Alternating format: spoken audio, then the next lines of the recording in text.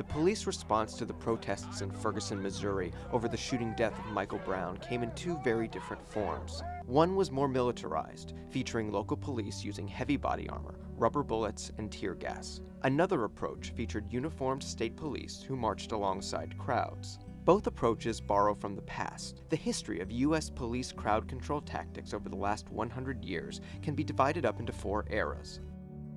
The Second Industrial Revolution and the rise of labor disputes saw a surge in police and public confrontations. In the early 20th century, US police had no strategy or training for crowd confrontations. That often resulted in violence.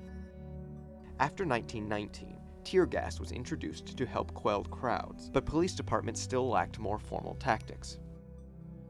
The mid century. Between 1950 and 1970, the rise of the civil rights movement and anti war protests compelled police departments to create crowd control divisions.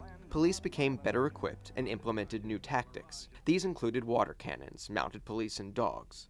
But many were rapidly abandoned due to the number of injuries to protesters. In this period, police officers typically wore only helmets and carried batons. A shift took place in the 1980s and 90s when police adopted a more militarized style. Police forces began training at military bases, thinking that borrowing from the military's well honed tactics could improve civilian enforcement. The gear changed too, and included a less toxic form of tear gas, grenade launchers for tear gas, shields, armored cars, and sniper rifles that shot rubber bullets.